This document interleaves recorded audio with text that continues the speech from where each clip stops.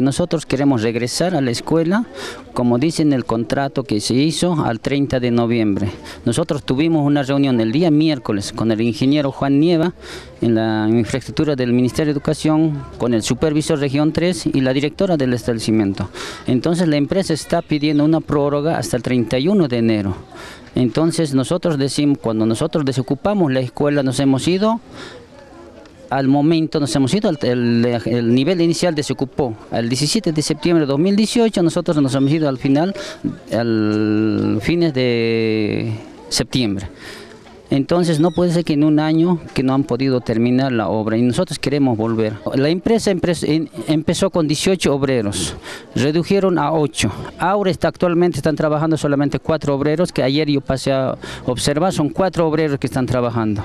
Y yo no sé cuál es el motivo, por qué se redujo, es que no se está pagando o yo no, eso no lo puedo explicar. Hay papás que tienen 4 o 3 chicos, entonces nosotros estamos distribuidos. Una parte está aquí en la escuela redondita de frente a NET. En la capilla están otro grado. Otros grados están en la capilla de Moreno, en la iglesia de Moreno. Otro está en la escuela 100 y los otros dos grados están en la escuela Rocha. Es muy dificultoso y tenemos dos colectivos. Un solo colectivo que pasa línea 24 por acá que lleva a los niños.